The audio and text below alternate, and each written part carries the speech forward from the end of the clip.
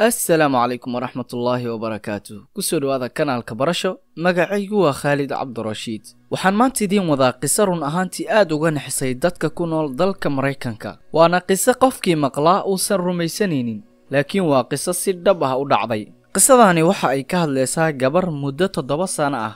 Waa haddee toddoba sano ayay sariir hoosteeda ku nooleed. Qofka bili'aadanka ahna maankiisa way ka fog tahay ama in uu rumaysto balse waa qiso iyo taariikh si dhab ah u dhacday. Haddaba gabadhaani toddobada sano sariirta hoosteeda ku nooleed mi iyada ayaa dooratay in muddo toddoba sano ah ay sariir hoosteeda ku noolaato mise maxbuus ayay ku ahayd sariirta hoosteeda. Intaanan u gudagelin faahfaahinta muuqaalkeena fadlan haddii aad ku cusub tahay kanaalka barasha ku soo biir oo sabskaraib taabo sidoo kale muuqaalka la wadaag asxaabtaada hana hilmaamin in muuqaalka aalaad garayso kuna soo dhowaada mar kale qisadaani naxdinta badan ee ka dhacday waddanka maraykanka sheekadaani waxa ay soo bilaabatay subax khamiis ah oo taariikhdu ay ku beegan tahay bisha mey kun sagaal boqol toddobiyo toddobaatankii waxay ku dhacday gabar loo yaqaanay colin esten taa oo jirtay labaatan sano. Colin esten waxaa soo wacday saaxiibteed waxayna ku tidhi saaxiib mar dhow waxaan qabsan rabaa xaflad dhalasho. Waxayna xafladdaasi ku beegan tahay ama ku aadan tahay maalinka kirismaska ee waddanka maraykanka dabcan waa maalmaha ciidaha ay u dabaaldegaan waddanka maraykanka. Yacni saaxiibteed waxay ku tidhi waxaan doonaynaa xafladdeena inaan ka dhigno laba farxad. Farxadna ciidda kirismaska inaan u dabaaldegno halka farxadda kale aan u dabaaldegi doono dhalashadeeda laakiin colin esten iyo saaxiibteed aad ayay u kala fog yihiin oo waxay kala joogaan laba magaalo oo kala fog.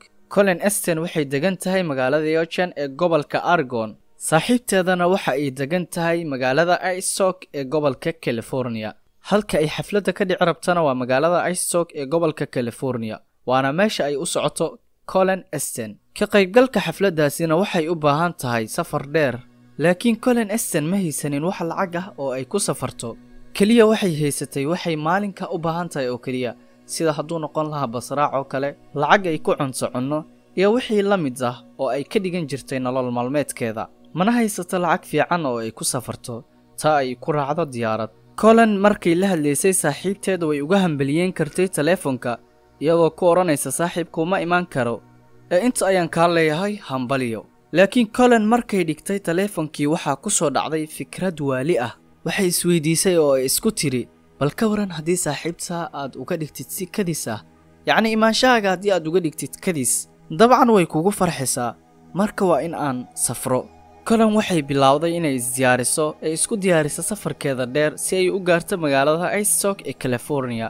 Waxay bilowday inay dejiso fikradihii ay ku gaari lahayd magaalada istok dabadeed waxaa ku soo dhacday fikrad waana fikrad ay samaysay marar fara badan oo kale. Fikradda ay ku fikirtay colin esten waxay ahayd in waddada dhinaceeda ay istaagto dabeedna ay istaajisato gaari gaarigaa markay istaajisato ay raacdo gaarigii marka cabbaar uu socdo ama uu ka leexan rabo halkii ay u socotay mooye meel kale marka uu ka leexan rabo in gaarigii ay ka degto dabeedna ay waddada dhinaceeda mar kale istaagto gaari ay fuusho gaari kale ilaa ay ka tegayso halkay u socotana ay sidaa ku tagto. Dadka ay raacaysana waxay ku fakirtay inay noqdaan dadka u socdo gobolka california. Si ay u tagto magaalada ay u socoto ee istok xilligaas waddanka maraykanka waxaa ka kacsaneed sheeko ah hebel ama heblaayo waa la afduubtay. Wargeysyada ka soo baxa waddanka maraykankana si maalinla ah ayay u soo qaadan jireen.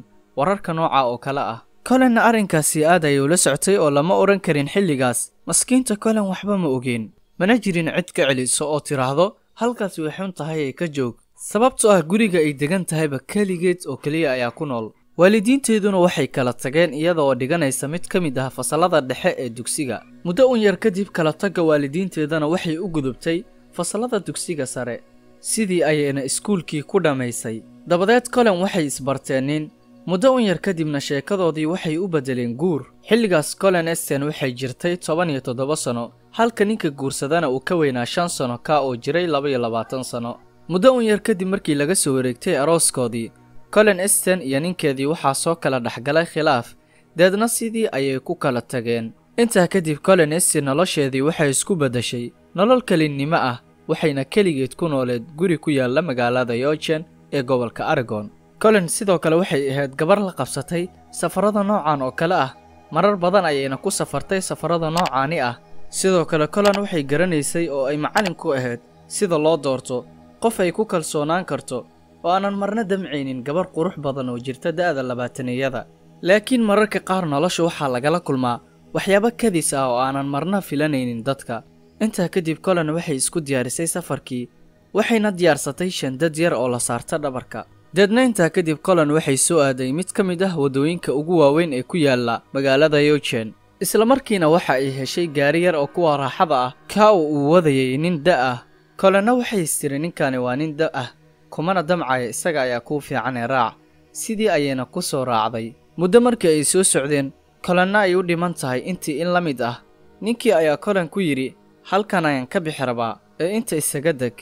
Dabadeed kolan gaarigii ayay ka degtay waxayna mar kale soo istaagtay mid ka mid ah waddooyinka waaweyn.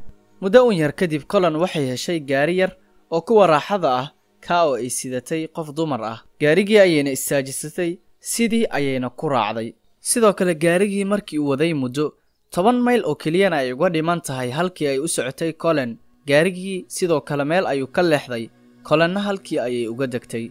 Waana gaarigii labaad ay sidaa ku soo raacdo deedna ay uga degta meel kale. Magaalada istock si ay u gaartana waxa uga dhiman oo keliya toban mayl waa hal gaari oo keliya. Mar kale kolan waxay istaagtay waddada dhinaceeda iyadoo sugaysa gaari kale oo gaarsiiya meesha ay u socoto. Gaariyaal badan ayaa kolan agteeda soo istaagay iyaga oo ku odhanayo ma ku sii dhoweynaa ma ku sii kaxeena annaga ayaan ku gaarsiinayna halkaad u socoto. Laakiin kolan maysan ku kalsoonaanin dhammaan gaariyaashii agteeda soo istaagay. Muddo un yar kadib kolan waxaa dhinaceeda soo istaagay gaari yar oo kuwa raaxada ah kaa oo uu saaran yahay nin xaaskiisa iyo wiilkiisa. Kolan kalsooni ayay heshay markay aragtay in gaariga uu saaran yahay qoys dhammaystiran. Si deg deg ah ayayna gaarigii ku soo raacday. Laakiin kolan gaarigii ay si dhab ah u aamintay ayaa noqday mid beddelay masiirka nolosheeda.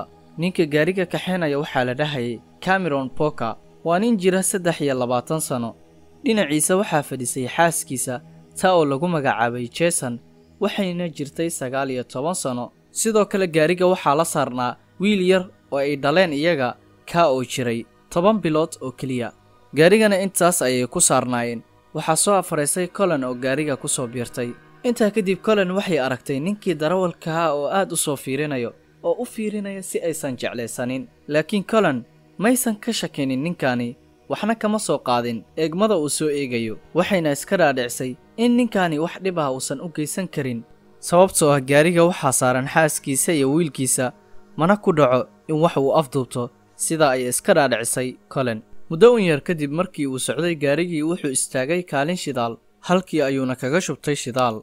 Dabadeed gaarigii wuu dhaqaaqay. Muddo un yar kadib markii uu socday masaafo badanna uu jaray gaarigii. Wuxuu ka leexday waddo aan ahayn waddadii kolen waddada ay ka leexdeen waa waddo yar taa oo laamiga ka tegayso. Deedna kolan ayaa ku tidhi ii istaajiya halkan ayaan idinkaga degayaa. Cameron oo ahaa ninka kaxaynaya gaariga iyo xaaskiisa ayaa ku dhaheen annaga xitaa waxaan u soconaa halkaad u socotid laakiin waxaan soo booqanaynaa qaraabo ee na sii raac deedna waan ku soo celinaynaa oo waxaan aadaynaa halkaan u soconno arrinkii kolen wuxuu ku abuuray walaac iyo walwal laakiin kolen way ku waafaqday arrinkii ninka iyo xaaskiisa ay u soo jeediyeen. Bal talow may iska degto laakiin qadarta mar kasta waa wax kuu qoran. Marna ma gafaysid. Masaafo markii uu socday gaarigii mar keliya ayuu istaagay. Dabadeed gaariga waxaa ka degtay jeson oo ahayd xaaska ninka gaariga kaxaynayo waxayna aaday kursigii gadaal ku yaallay waxayna la degtay wiilkeeda yar mar kale waxaa gaarigii ka degtay cameron isna wuxuu aaday kursigii gadaal. Waana qaybta ay saaran tahay kolen gaarigii ayuu furay. Deedna kolen ayuu dhuunta ka saaray mindi. Isagoo u handadaya ayuu ku yidhi kolen haddii aad hadasho ama afkaaga ay ka soo baxda kelimad inta ayaan kugu dilayaa isla inta ayaan kugu aasayaa. Yaa oo talow ninka ay soo raacday waaba nin dadka aaso. Maxabaaluu ka shaqayn jiray. Wuxuu u raaciyey hadalkiisa haddii aad doonayso in aad noolaato waa inaad isdejisaa si deganna aad u dhaqantaa balse haddii aad hareer marto mindideeda ayaan afeesanayaa. Kadib kolen way aamustay. Arrinkiina waxay ku noqotay filan waa waxaa maanta haysata kolan wax mar kasta dhegaheeda ay ku maqli jirtay. Intaa kadib kolan waxay wajahday cabsiya argagax. Awoodna maysan u yeelanin inay iska dhicisa ninka kan ay soo afduubtay. Intaa kadib ninkii afduubaha ahaa ee cameron wuxuu lugaha iyo gacmaha ka xiray kolen kadibna wuxuu u keenay sanduuq ka samaysan alwaax. Sanduuqii ayaa lagu riday kolen inkastoo uu cidhiiri ahaa.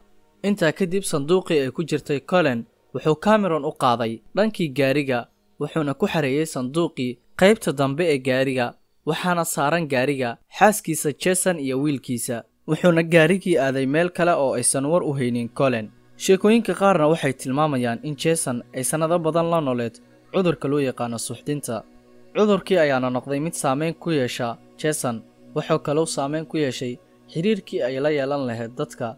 Oo dadku maysan soo dhexgeli jirin wuxuu ka dhigay cudurka keligii socod. Muddo ayayna sidaa ku jirtay ilaa ay ka soo weynaatay ayna shan iyo toban sano jirsatay. Markay soo gaartay da'da shan iyo toban sano waxay isguursadeen cameron hoker oo da' ahaan markaa ka weynaa afar sano. Cameron wuxuu ahaa nin xariif ah kaa oo leh dabeecad aan caadi ahayn sidoo kale wuxuu lahaa afkaaro qariib ah oo dadka kale ka dugan. Oo jason dadkii oo dhan waa soo dhexgeli weysay laakiin cameron waxa uu ku soo jiitay xirfaddiisa iyo jiljileec. Wuxuu ku qanciyey inuu aad u jecel yahay wax kastana iska hagaagayaan. Guurkoodii kadibna waxay galeen nolol aad u wacan oo wanaagsan. Muddo ayayna sidaa ku wada noolaayeen cameron iyo xaaskiisa. Sannad kadib guurkoodii waxay dhaleen wiil intaa kadib dhalashadii wiilkaasi cameron hoker wuxuu la soo baxay dabeecad ka duwan tii hore. Yacni xaaskiisa markii hore hadalla jilicsan ayuu kula hadli jiray. Markii xanaaqda ama carootana wuu dejin jiray balse hadda wuxuu bilaabay inuu ula dhaqmo dabeecad ka duwan tii hore ee uu kula soo dhaqmi jiray. Wuxuu bilaabay inuu ku qayliyo isagoo ku odhanayo iska jooji dabeecaddan qallafsan tani ma aha dabeecad. Mana lagula noolaan karo. Iyo hadallo nooca oo kale ah cameronna sababta ugu weyn ee uu u soo afduuban jiray gabdhahana waxay ahayd in guriga ay uga shaqeeyaan oo ay uga noqdaan shaqaale. Colenna ma aha gabadhii ugu horraysay ee uu soo afduubtay. Waxaa kaloo jirtay gabarh ka horraysay colen taa oo la odhan jiray mariya siduu u rafaadinayey oo uu nolosha ugu tacdiibayay ayay u dhimatay mariya deedna midkeeda wuxuu ku aasay meel saxaro ah oo aad uga fog. Gabadhii labaad ee uu soo afduubtayna waxay noqotay colen talow ninka maxaa daba dhigay hablaha oo keliya oo muxuu u soo afduuban la'yahay nimanka. Runtii waa wax aan la yaabo. Adigaa i daawanaya daawada ma la yaabtay. Haddaba colen siduu ugu qanciyey cameron inay u noqoto jaariyad guriga ugu shaqayso se siday ku soo qabteen booliska cameron sideena lagu ogaaday. Sidaa u jeedid muuqaalka zaa'id ayuu u dheeraaday oo hadda wuxuu marayaa laba iyo toban daqiiqo waxaana dhiban intii aan soo duubnay in la mid ah xitaa laga yaabaa in ay ka badnaato. Haddaba sheekadeenna waxaan u samayn doonnaa qayb kale oo dhammaystir ah. Hadduu eebbaha awoodda leh inoo saamaxana qaybta kale waxaan soo gelin doonnaa maanta maalinka xiga insha allah. Haddaba daawade haddii aad u baahan tahay qaybta xigta ee muuqaalkani ama dhammaystirka muuqaalkani kanaalkana weli aadan rukumanin oo sabskraibe aadan saarin. Haddaba saaro si ay kuu soo gaarto farriinta qaybta xigta ee muuqaalkeena maanta. Waa ku mahadsan tahay daabashada muuqaalkani. Fadlan haddii aad ku cusub tahay kanaalka ku soo biir sidoo kale ha hilmaamin inaad muuqaalka like saarto lana wadaagto asxaabtaada. Waa ku mahadsan tahay daabashada muuqaalkani. Assalaamu calaykum waraxmatullaahi wabarakaatu